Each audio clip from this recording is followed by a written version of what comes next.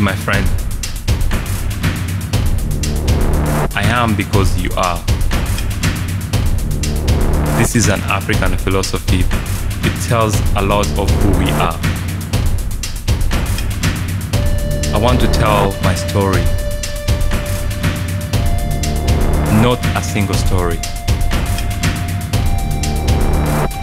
It is a story that comes with multiple choices.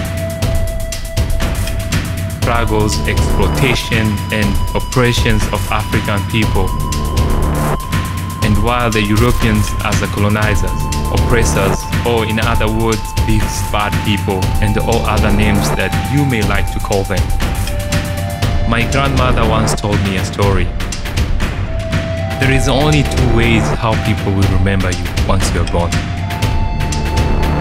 One is for good memories, the other one is for the bad memories. Bad memories of things that you have done to them. It is your choice. Which memory do you want people to remember you with? They will remember you for what you are.